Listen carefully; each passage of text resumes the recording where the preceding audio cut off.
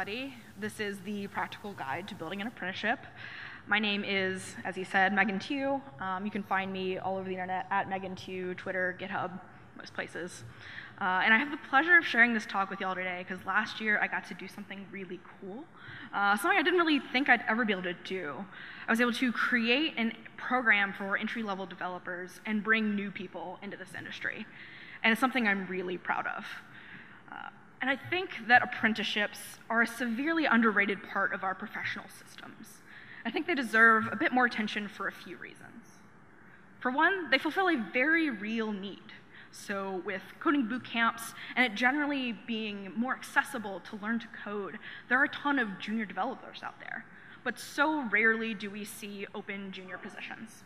There are a ton of fantastic, eager folks that are just waiting for the opportunity to be seen. And further, when we do see these junior positions, they're asking for things like three years of experience. There has to be some kind of role in the middle there. And apprenticeships fill that hole. They also help unify and engage your teams, because when, your when your team will, can rally around the common goal of teaching a new developer that's excited and ready to go, they'll unify. They'll be excited too. They also help us create more diverse and inclusive organizations so historically, the tech population tends to look all a bit the same, especially here in the US, we have a bit of a white male problem.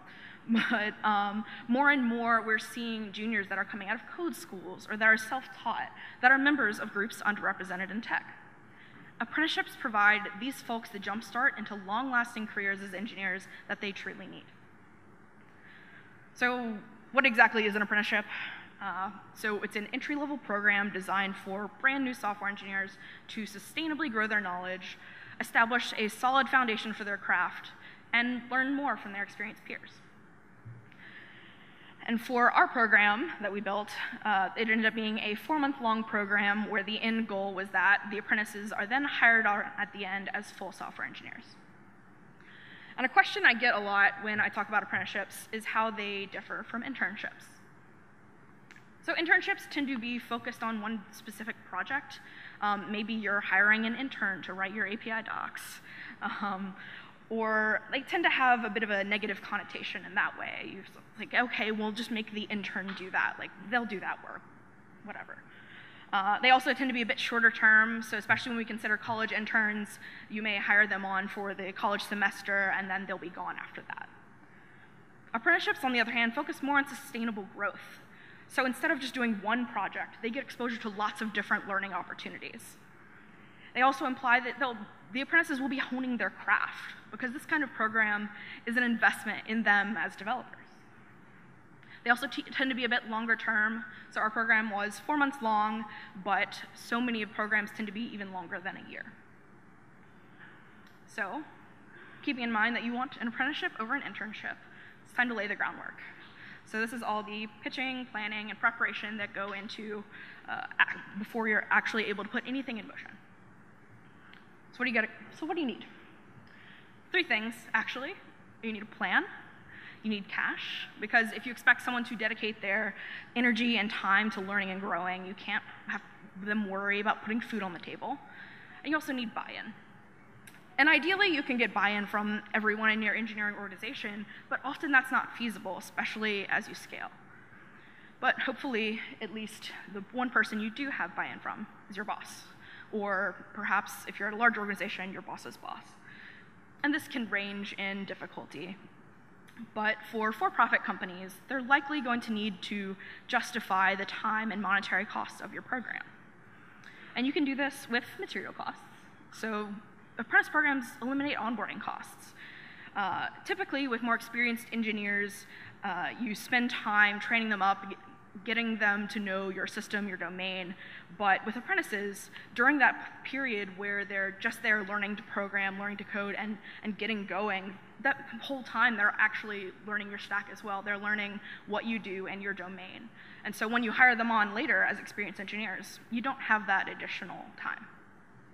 They also help eliminate recruiting costs. So in, uh, in an environment where we're spending tens of thousands of dollars to have someone else source candidates for us, instead with apprenticeships, there, there's such a high demand for this kind of program, this kind of entry level position, that candidates will flock to you. Um, that's definitely the experience we had. Also helps in hiring senior developers too, if that's your thing, um, which for a lot of people it is. Um, when I, as a senior engineer, look at companies with apprenticeships, I see that that sends a message, right? It says, hey, we're a company that uh, values growth and values learning. Come learn and grow with us. Come help them, help your other coworkers do that too. And of course, there are the immaterial benefits that you can pitch. Uh, lots of things we've already talked about, like increasing diversity of background and skill, improving team connectivity, and even increasing developer productivity. Because um, if you have a senior and a junior pairing on a project, yes, your junior will be learning a lot, but so will the senior. They'll be learning probably just as much, if not more, as the junior. So once you've convinced your boss and you're ready to start, there are a few different things you need to decide. How long the program will be, how many apprentices you'll hire, and who's going to do what. Because these kinds of defined roles are really crucial in making sure that everything gets done and that the apprentices have designated people for various different types of questions. We decided on a four month long program. Uh, we knew we wanted to hire two apprentices because it's like a manageable number for a smaller team and they could be even pair together.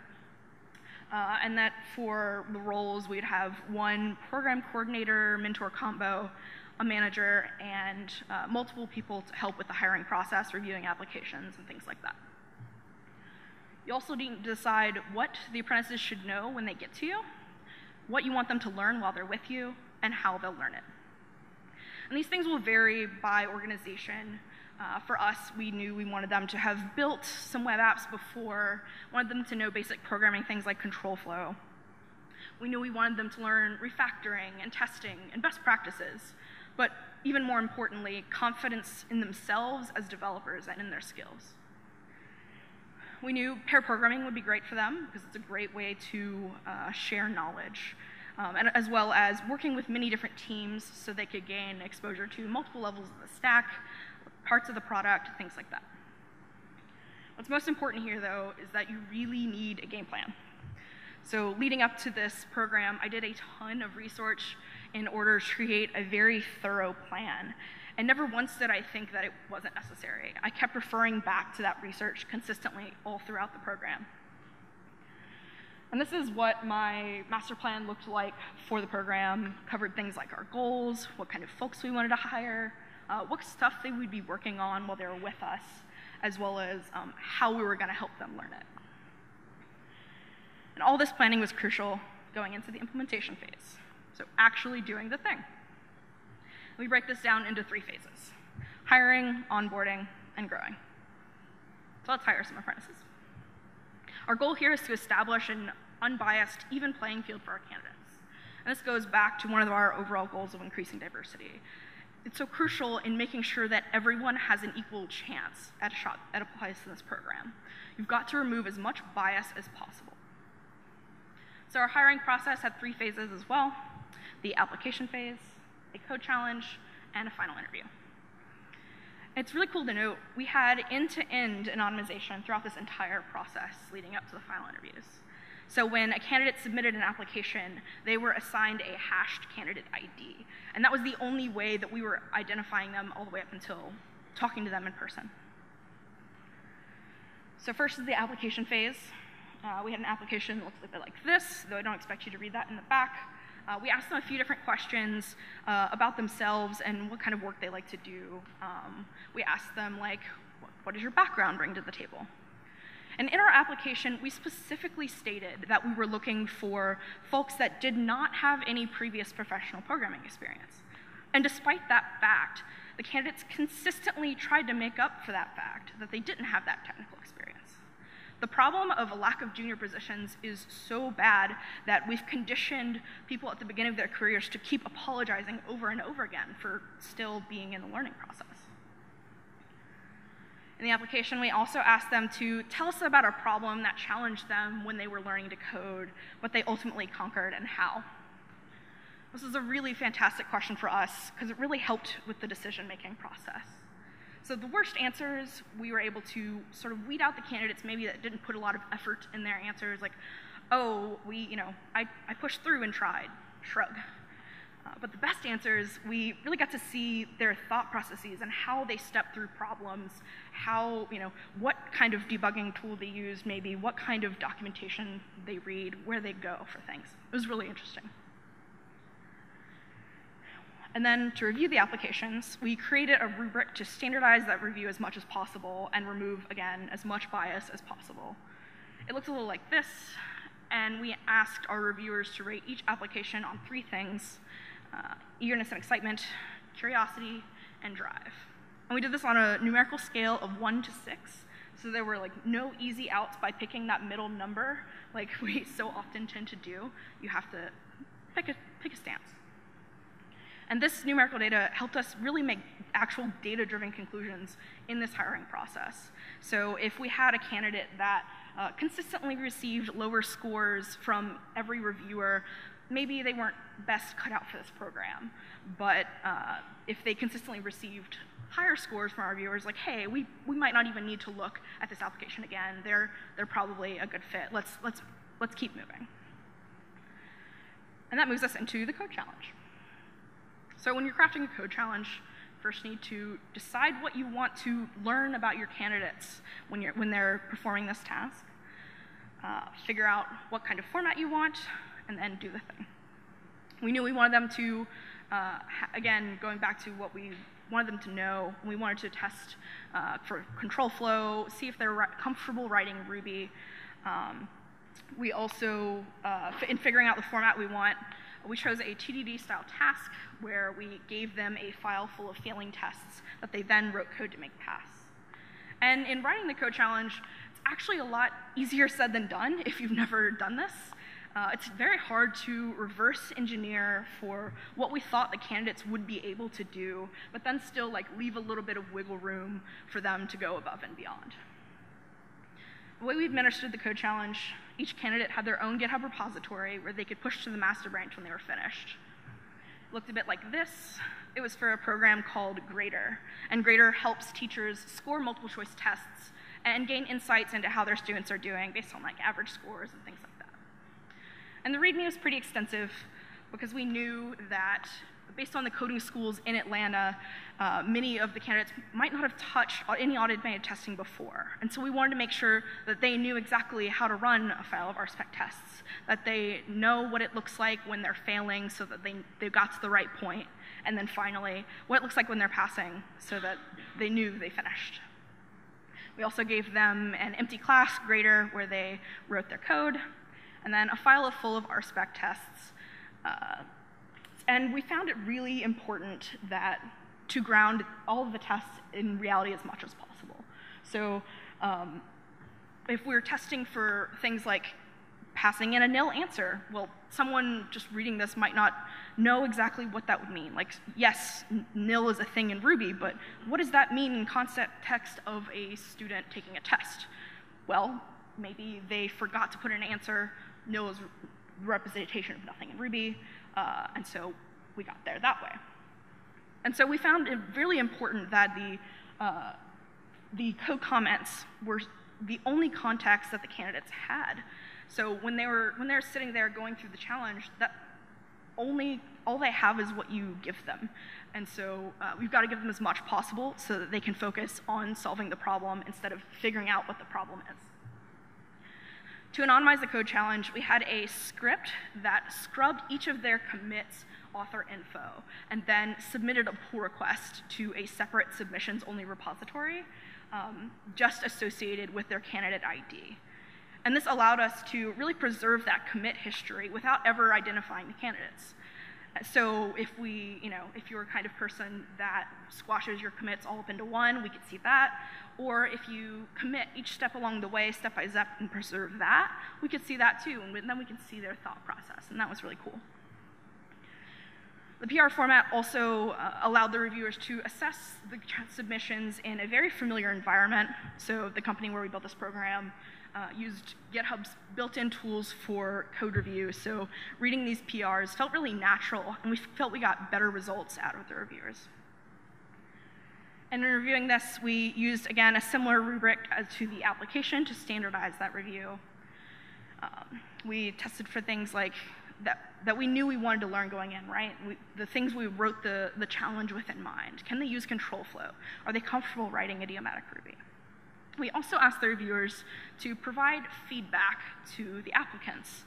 Um, we knew that uh, we really wanted this program to be an investment in the community's juniors, not just a way to bring people in. And so we felt it very important that even if they weren't selected to move on within the process, they were able to get some actionable feedback and, and still learn and grow even if they weren't selected. So that moves us into the final interview. What's really cool is that this is really the first time we've been able to put names and faces to the answers and submissions we've got. Our final interview is three phases. So a product and company intro, a technical conversation, and a behavioral chat. And the technical chat was a little bit different than it would normally be for our experienced developers. Because you can't just use the same terms or ask the same questions and automatically know that they know what you're talking about. And so we were able to use the code challenge as a focal point of that discussion because it's code that we had both seen, that they had written, and, and we could really move forward there. And so that enabled me to ask questions like, uh, what challenged you while you were completing this exercise? And this showed us how they worked through different problems and then how that was then reflected in their submission. We also got to use the feedback collected during the code challenge review to, and gave it to them in the interview so that they could um, see, so we could see how they process feedback, what kind of questions they ask when they're trying to process, and things like that. Now, the behavioral conversation was a bit more like standard job interview type questions, but one apprentice specific thing we got to ask was what would you change about the school you attended? Be it a code school, a university, or even your own self taught program. This was able to give us an idea of what their needs are in learning and make sure that we, as, as the people running it, can meet their needs going in. So ways to improve the hiring process. I'd really recommend using an HR platform. Um, the, the point we were at this company uh, small enough that we just didn't have one of these yet. And so I essentially ended up rolling my own with a suite of Google Docs and Sheets and Forms, and it was, it worked for sure, but all that time that I spent doing that probably would have been better spent putting that into the program. I'd also recommend not limiting your code challenge to one programming language if possible. So at this company, all the server-side application code was written in Ruby.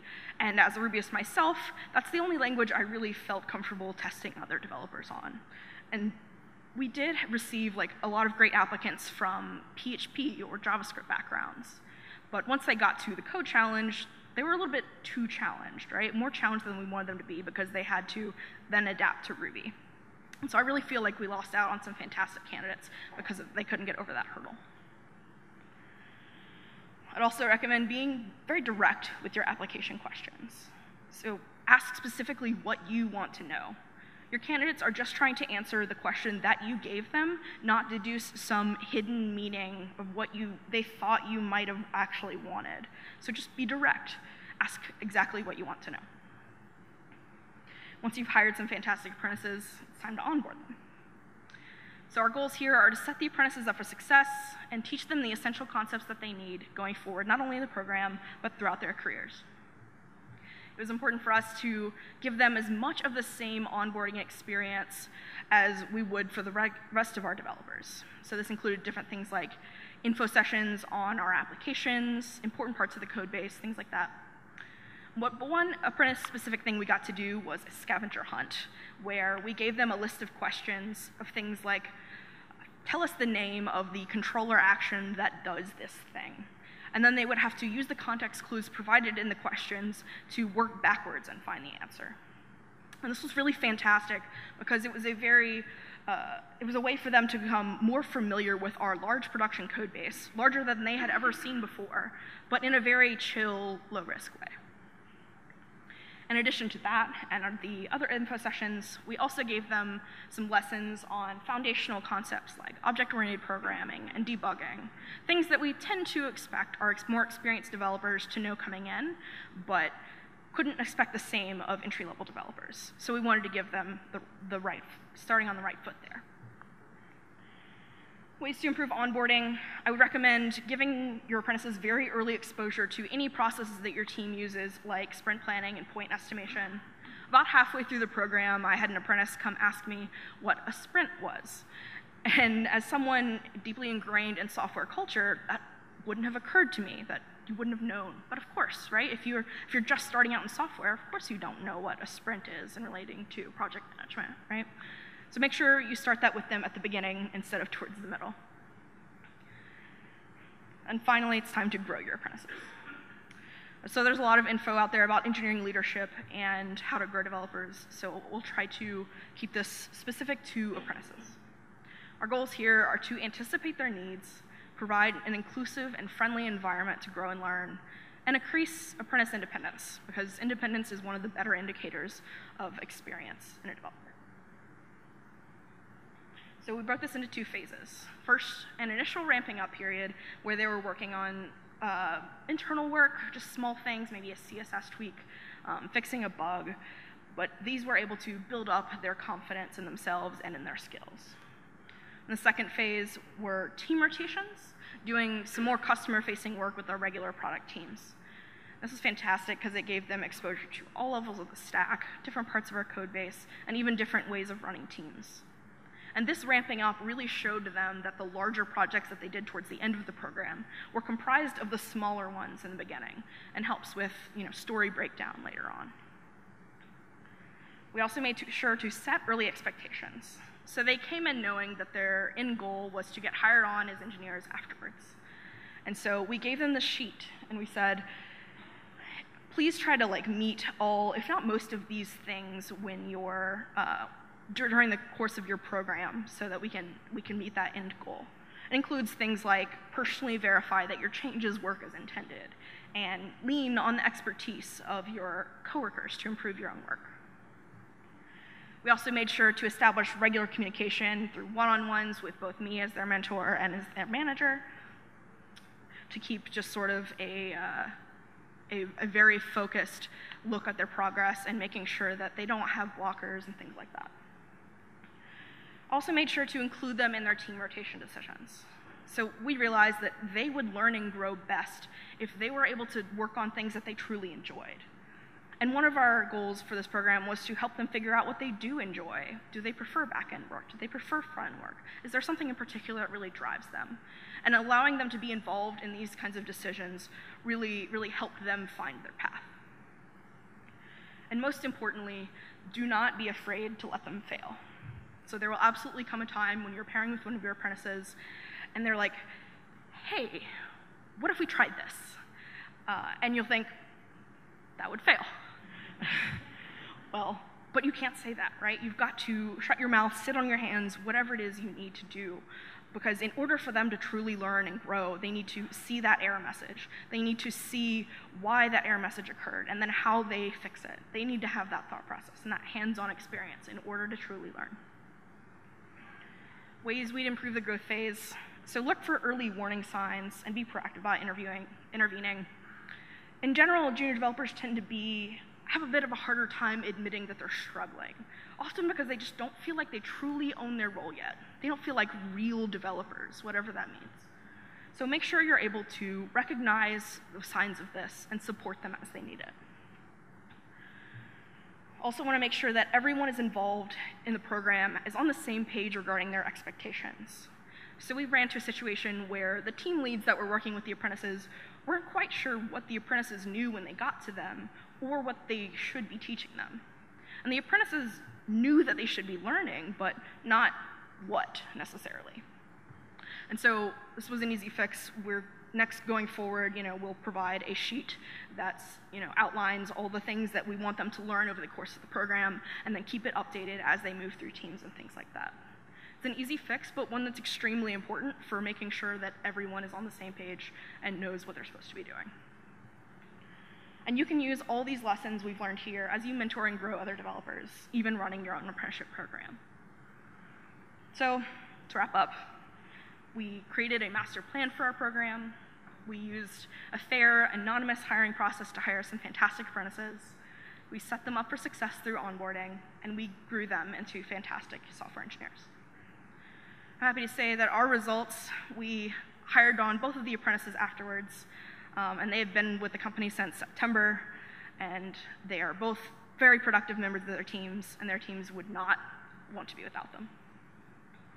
So some lessons we've learned throughout this process. When hiring, make sure to listen to the early hunches you have about each candidate. So we had one candidate um, that in their application sounded potentially overconfident um, in a way that might hinder collaboration. But the rest of their application was really good, so we pushed them through the code challenge. And their code was really good, so we pushed them through the final interview. And once we actually got to talk to them, realized that early hunch was true.